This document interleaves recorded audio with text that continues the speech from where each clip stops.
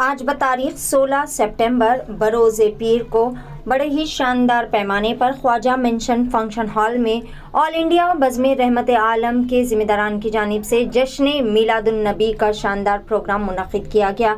ये प्रोग्राम जो कि प्रेसिडेंट जनाब M A Mujeeb, advocate Telangana high court व president of all India Bazm Rahmat Alam की जेर सदारत व निगरानी में मुनद किया गया। इस मौके पर कई सारे इकराम मौजूद थे, जिनमें ऑल इंडिया खिरात एकेडमी के प्रेसिडेंट खारी सैयद मतीन अली शौखादरी साहब, जनाब मुफ्ती सलाउद्दीन निज़ामी साहब, vice president of all India Bazm Rahmat Alam और दिगर कई सारे कराम और आवाम की कसर तदाद भी मौजूद थी। इस मौके पर रहमत आलम पीस एवॉर्ड 2024 जो रोहित उपाध्याय को दिया गया रोहित उपाध्याय, जो एक हिंदुस्तानी सहाफ़ी है और डॉक्यूमेंटरियन और यूट्यूबर है, जो माहौलियाती मसाइल सेहत आमा और अखिलियतों के हकूक़ पर अपनी गहराई से रिपोर्ट्स पेश करने के लिए जाने जाते हैं। इन्होंने साल 2015 से लेकर अब तक बतौर सहाफ़ी अपने कैरियर में बेहतरीन खदमात अंजाम दी और इन्होंने फ़लस्तीन के मसाइल पर भी बेहतरीन अपने दस्तावेज़, यानी डॉक्यूमेंट्री फ़िल्म पेश की। पेश खसूस में मज़ीद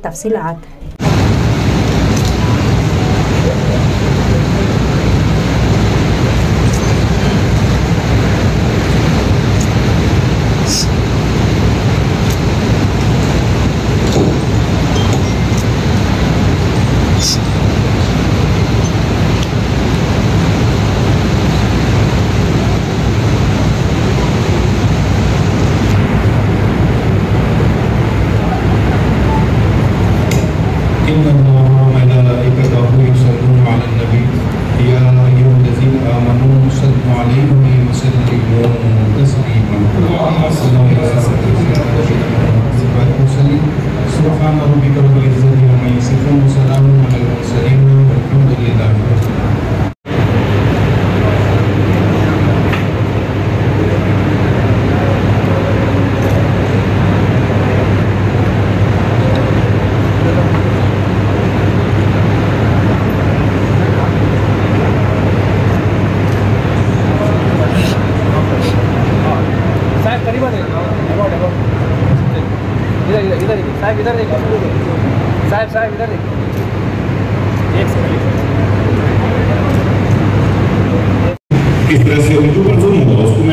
एक्सेप्ट करता हूँ। यूके से भगाए गए स्पेन से भगाए गए। और जब वो भाग करके आए तो उनको पनाह किसने दी? कहाँ पर उनको रहने की जगह मिली? कहाँ पर उनके जख्मों पर मरहम लगाया गया? वो थी पैलेस्टाइन की ज़मीन। मरहम लगाने वाले कौन थे? अरब लोग। जगह देने वाले कौन थे? अरब लोग। कुछ लोगों ने जमीनें दान में दी, कुछ लोगों ने अपनी जमीनें बेची, ताकि ये लोग आसानी से रह सकें। और आज मतलब जुल्म जो किया, वो यूरोपियंस ने किया गोरों ने किया। लेकिन आज वही होगी, वही इसराइल उन पर जुल्म कर रहा है जिन्होंने उनको बसने की पनाह दी। यही है आपका। इसराइल और पैलेस्टाइन का इशू कहते हैं, आप कुछ कहते हैं? इतनी सीधी सी बात है। तो और मुझे लगता है कि यहाँ पर रह करके लोगों के लिए समझना बड़ा बड़ा मुश्किल हो जाता है कि इसराइल पैलेस्टाइन में आखिर चल क्या रहा है। और वहाँ के लोग कैसे इसका विरोध कर रहे हैं, कैसे इसकी लड़ाई लड़ रहे हैं। एक बड़ी अच्छी सी किताब मैं पिछले दिनों पढ़ रहा था गजा राइट्स बैक मतलब गजा की स्टोरीज कुछ लिखते हैं। तो प्रोफेसर हैं उन्होंने अपने स्टूडेंट्स को कहा कि आप लोग अपनी, आपके साथ जो आप बीती है कहानियाँ हैं जो गजा की, वो आप लिखिए। तो बहुत सारे बच्चे लिख करके और उन्हें कहानियाँ पढ़ते पढ़ते मतलब मुझे बड़ी हैरानी हुई और बहुत सिमिलर लगा जो हमारा फ्रीडम स्ट्रगल रहा जिसमें हिंदू, मुस्लिम सभी मिलकर के लड़े हैं। कम बेश वैसे ही कहानी एक बहुत ही शानदार कहानी है जो मैं आप लोगों को चाहता हूँ कि आप लोग सुने, समझें ताकि आपको इस मसले के बारे में थोड़ी और जानकारी हो। कितना शानदार तारीफ़ कराया मैं आलम के सभी मेंबर्स का सबसे पहले बहुत शुक्रिया अदा करना चाहता हूँ कि मुझे मिलादुलनबी के मौके पर आप लोगों ने इनसे रूबरू करने का एक मौका दिया। मैं मुजीब साहब शुक्रिया अदा करना चाहता हूँ। आई थिंक ये मैं सबसे शुक्रिया क्योंकि अक्सर होता ही है कि मेरा पता तो दिल्ली है, लेकिन मैं अक्सर लापता ही रहता हूँ। कभी कश्मीर, कभी मणिपुर, कभी कहीं और। जहाँ नहीं जा सकता हूँ, वहाँ की कहानियाँ भी मिसता हूँ, जैसे कि गजा पैलेस्टाइन है वहाँ जा नहीं सकता हूँ, लेकिन एटलीस्ट वहाँ की कहानियाँ, वहाँ पर जो बहुत सारी किताबें लिखी गई हैं, वहाँ के जो वीडियोज़ आ रहे हैं, लगातार वो भी कोशिश होती है कि लोगों को पता चलता रहे, उनका पर्सपेक्टिव क्या है गजा पैलेस्टाइन इशू क्या है? बहुत सारे लोगों को इसके बारे में मालूम तक नहीं है, और मैं बड़ी हैरानी होती है मुझे जान करके कि लोगों को वाकई में इस इशू के बारे में पता ही नहीं है। और अभी पिछले दिनों क्या हुआ कि एक साहब थे, उन्होंने मुझसे पूछा कि भाई ये पैलेस्टाइन इशू क्या है? तो हमने उनसे कहा कि पैलेस्टाइन तो कोई इशू नहीं है इशू तो इसराइल है। इशू तो यूके है। इशू तो फ्रांस है। आप, अगर अभी सौ, सवा सौ साल पहले की तो बात है। आप चाहते मान लीजिए एडवोकेट मुजीब साहब जाते मिडिल ईस्ट में ग्रेट मिडिल ईस्ट में। तो मेडिटेरेनियन सी से लेकर के इंडियन ओशन तक, लाल सागर से लेकर के अरेबियन सागर तक, कहीं भी चले जाते वो तो अंग्रेज़ आए, साइस को जो एग्रीमेंट हुआ 1916 में, उसके बाद क्या हुआ कि उस रेत पर लकीरें खींच दी गई कि भाई ये जॉर्डन हो गया ये सीरिया हो गया ये इराक हो गया ये आ, आपका पैलेस्टाइन हो गया। ये बाद में लोगों ने देखा है कि 1948 में इसराइल बन गया। तो इशू तो हमेशा से इसराइल रहा है यूके रहे हैं गोरे रहे हैं। अब बड़ी जो आसान से समझने वाली बात है उसमें लोग कंफ्यूज हो जाते हैं कि यार इसराइली ये कहते हैं कि हम हम तो एक हज़ार पहले से यहाँ पर, साल पह- पहले से यहाँ पर थे। हम बहुत पुराने लोग हैं यहाँ पर। अब उनसे पूछा जाना चाहिए कि भाई साहब, एक हज़ार साल की आप बात कर रहे हैं, उसके बाद आप गए कहाँ? आप कहाँ, दुनिया में कहाँ कहाँ बसे? मतलब यूरोप में बसे हम, कैनेडा में बसे हम यहाँ बसे, वहाँ बसे। वहाँ पर लोगों के साथ में क्या हुआ? यहूदियों के साथ में, यूरोपियन कंट्रीज़ में क्या हुआ? फ्रांस से भगाए गए। अमीरुद्दीन वीडियो राइट एक सेकंड इधर। बुके ऐसा टर्न करिए इधर फेस बता दूँ हाँ right right okay okay right चलिए राइट हाँ। इधर देखिए, इधर देखिए सब इधर देखिए वन सेकंड वन सेकंड सब रसूल खुदा बन के आए और हबीब खुदा बन के आया। सैयदा आमना का दुलारा, हलीमा की आँखों का तारा। सैयदा आमना का दुलारा, हलीमा की आँखों का तारा। शिकस्ता दिलों का सहारा, बेबसों की दुआ बन के आया। शिकस्ता दिलों का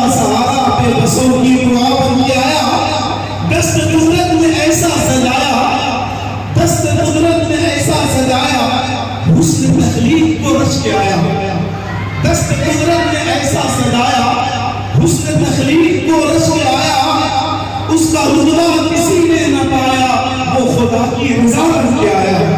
उसका रुतबा किसी ने न पाया, वो खुदा की रजा बन के आया। और ताजदारों दी है सलामी। ताजदारों दी है सलामी। बादशाहों ने की है गुलामी। ताजदारों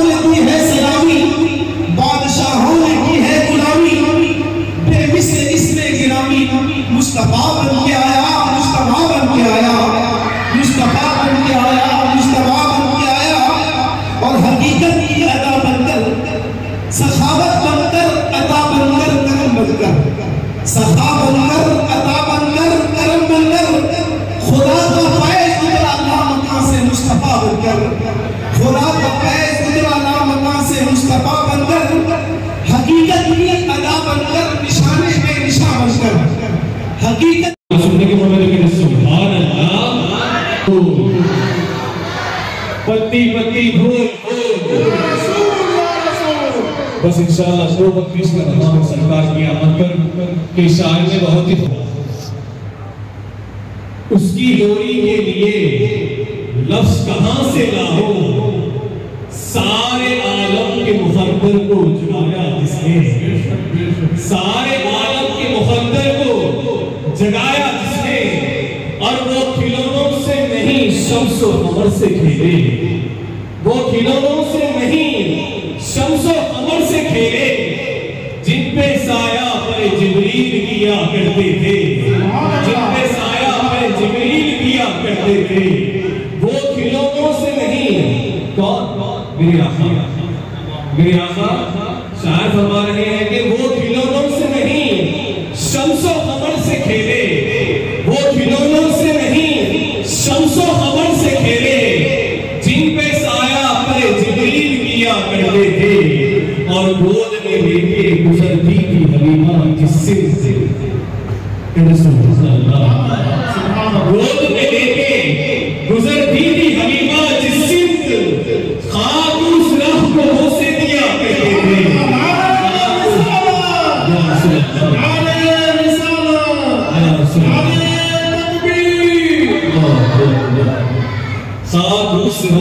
उस दिया उसके दिल की बंदगी होना चाहिए। दिल से उसके दिल की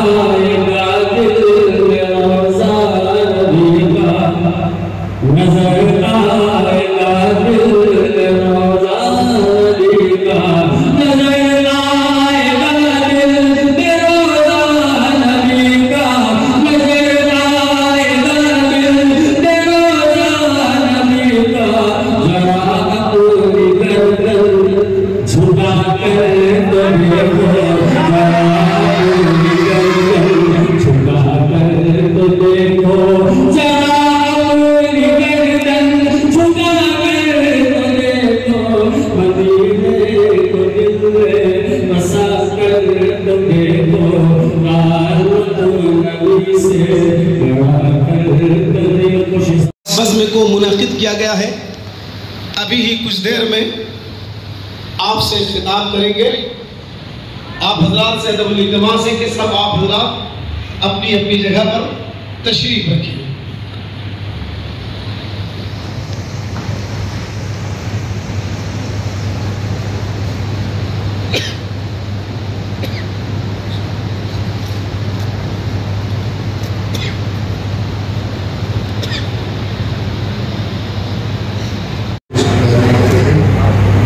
आप लोग बिल्कुल घबराइएगा नहीं कि मैं यहाँ तकलीफ़ करने के लिए नहीं ठहरा हूँ मैं समझ सकता हूँ डेढ़ बज रहे हैं आप लोगों को भूख लग रही है लेकिन थोड़ा और पर्दा शामिल करना पड़ेगा आज मिलादुलनबी सल्लल्लाहु अलैहि वसल्लम के मौके पर उस अजीम शख्सियत जिसके लिए ज़मीन आसमान चाँद सूरज सितारे तारे और मखलूक को अल्लाह ताला ने पैदा किया और इसके बाद एक इम्तिहान का दौर हमारी पैदाइश के बाद से लेकर, आने से लेकर जाने तक एक आजमाइश का दौर आपके सामने होता है। और हमको हमेशा ये सवाल उठाया जाता हम हमारी ज़िंदगी को कैसे गुजारें? तो आपको एक अमल का रास्ता, हुजूर पाक अलैहिस्सलाम की ज़िंदगी आपके सामने होती है। सुन्नत रसूल, अगर आप उस पर अमल करेंगे तो आपकी ज़िंदगी आसान हो जाएगी। आज के ज़माने में क्योंकि एक छोटा सा वाक्य, मेरे एक बहुत करीबी दोस्त थे, वो डायबिटीज़ का शिकार हो गए और मुझसे आके गुफ्तगू करने लगे कि क्योंकि मैं भी एक पुराना डायबिटिक पेशेंट हूँ तो किस तरह से डायबिटिक से इसको काबू में लाया जा सकता? तो मैं उनको बताया कि आप कम से कम दिन में दस हज़ार कदम चलिए। मैं कोई अपने आप कोई इसकी रिसर्च करके नहीं बताया, बल्कि गुजरे पाक सलाम की सुन्नत थी कि वो दिन में दस हज़ार कदम चला करते थे। तो मैं उनको बोला कि आप दस हज़ार कदम रोज चलिए, ताकि आपकी डायबिटिक भी कंट्रोल होगी, आपकी सेहत भी रहे। तो खैर वो साहब सुन लिया उसके बाद वो अमल करे, नहीं करे, नहीं मालूम। लेकिन बाद में एक बहुत बड़े डॉक्टर के पास एक हज़ार रुपये की फ़ीस दे के फिर शाम में उनसे मुलाकात के लिए गए कंसल्टेशन के लिए तो फिर भी रात में आके घर से मिले तो मैंने पूछा क्या क्या बोले डॉक्टर साहब? तो वो बोले कि डॉक्टर साहब बोले कि रोज चलो। कितना चलो? दस हज़ार कदम चलो। तो ये हम हमारे सुन्नत, रसूल की सुन्नत छोड़ दिए हैं, इसलिए हम हमारी ज़िंदगी में जलील हो रहे हैं, नाकामयाब हो रहे हैं। अगर कामयाबी चाहिए गुजरे पाक सलाम की बताए हुए रास्ते पर चलिए। इन ताला आपकी ज़िंदगी भी कामयाब होगी, आपकी आखिरत भी कामयाब होगी आज का इस जलसे का मकसद ये है, हर साल हम मज़हब रहमत आलम की जानब से रहमत आलम पीस अवार्ड दिया जाता है। अल्हम्दुलिल्लाह, अब तक कई मोजिद शख्स से आपको रहमत आलम की अवार्ड से नवाजा गया इसमें राम पुनियानी साहब भी हैं, राजीव शर्मा साहब भी हैं, कैप्टन पांडुरंगा राव साहब भी हैं। ऐसे वो लोग जो अपने अपने फ़ील्ड में रहते हुए इंसानी हकूक के लिए और मुख्तलिफ़ मजाहिब के बीच में एक अंडरस्टैंडिंग के लिए काम करते हैं, ऐसे लोगों को हम लोग चुनते हैं और ये अवार्ड देते हैं। आज का ये अवार्ड हम रोहित उपाध्याय साहब के नाम करते हैं। रहमत आलम पीस अवार्ड 2024 रोहित रोहित उपाध्याय साहब को दिया जाता है। रोहित उपाध्याय साहब कोई तारुफ के मोहताज नहीं है, अगर यूट्यूब पर जाके उनका नाम मार के देखें तो उनकी एक्टिविटीज़ पूरे आपके सामने आते हैं। वो एक बेहतरीन कालम निगाह होते हुए हर मजलूम के लिए आवाज़ उठाते हैं। उनके यूट्यूब पूरे भरे हुए यूट्यूब वीडियोस उनके भरे हुए हैं, जो फलस्तीन के मजलूम आवाम के लिए वो आवाज़ उठाते हैं। आज तकरीबन साठ हज़ार फलस्तीनों का कत्ल गाजा में हो चुका है। आज ऐसे ऐसे पावरफुल मुल्क है जो इसराइल के आँखों में आम ऐसे मौके पर एक शख्स रोहित उपाध्याय अपने वीडियो के ज़रिए से। फलस्तीन के अवाम के ऊपर जो जुल्म हो रहा है, वो जुल्म को निशानदेही करके बोलने की हिम्मत रखता है। उस शख्स का नाम है रोहित उपाध्याय। आज ये पुलिस अवार्ड 2024 रोहित उपाध्याय साहब को दिया जाएगा। अवार्ड के बाद आज उनकी जो टॉपिक है, फलस्तीन का जो मसला है, असल में वो मसला है क्या, जिसको आप मिथ समझते हैं? और रियलिटी क्या है? और उसका सोल्यूशन क्या है? हम तो बात करते हैं, फलस्तीन के अवाम पे जुल्म हो रहा है, फलस्तीन पे इसराइल जुल्म कर रहा है, फलस्तीन के अवाम को कई तरह के जुल्मों का शिकार बनाया जा रहा है। लेकिन फलस्तीन का मसला असल में है क्या? फलस्तीन का मसला किस तरह से हल किया जा सकता है? और बैन अवी सतह पर कम्युनिटी इसको कैसा देखती है? और हमको क्या इसमें रोल अदा करना चाहिए? इसके बारे में तवील किताब रोहित रोहित उपाध्याय साहब करेंगे। मैं उम्मीद करता हूँ कि रोहित रोहित उपाध्याय साहब की तकरीर को मालूम की तकरीर को सुनकर आपको फलस्तीन का मसला समझ में आया। और आज का दिन गुजरे पाक सलाम के नाम पे है। जैसा कि मजलूम की आवाज़ गुजरे पाक सलाम बने, उसी तरह से मजलूमी की आवाज़ से आवाज़ मिलाने के लिए उनकी तकलीफ़ को कम करने के लिए आप लोग यहाँ जमा हुए हैं। आप लोग काबिल मुबारकबाद हैं और मैं फिर एक बार रोहित साहब को बेहद शुक्रगुजार हूँ कि हमारी तरफ़ से उनको शुक्रिया अदा करता हूँ वो अपने बिज़ी शेड्यूल कश्मीर में कश्मीर में इलेक्शन चल रहे हैं। कश्मीर का इलेक्शन कवरेज वो कर रहे हैं। कश्मीर के जैसे इलेक्शन के फ़ील्ड को छोड़कर तीन दिन अपने लिए निकाल कर हैदराबाद आए हैं। उनकी हौसला अफजाई करना हमारी, हमारा फ़र्ज़ है। उनको सुनना हमारा फ़र्ज़ है। अब वो, क्योंकि आप समझ सकते हैं, जो कश्मीर को वहाँ कवरेज करते हैं तो किस तरह से एक इंपॉर्टेंट इशू को करते हैं तो ऐसी उनकी जहनीत है। तो उनका, उनकी हौसला अफजाई करना हमारा मकसद है। मैं फिर एक बार शुक्रगुजार हूँ रोहित उपाध्याय साहब का और आप पहले, सबसे पहले रोहित उपाध्याय साहब को अवार्ड दिया जाएगा। उनकी दुर्गोशी होगी अहमियत पेश की जाएगी। उसके बाद माइक उनके हवाले किया जाएगा कि वो फलस्तीन के इशू पर आपसे बात करें। बेशुक्र पूरी तवज्जो के साथ दिन भर तो आपका काम काज होता ही रहेगा आप अगर तव- तवज्जो न दें, ये आए हुए मेहमान हजरात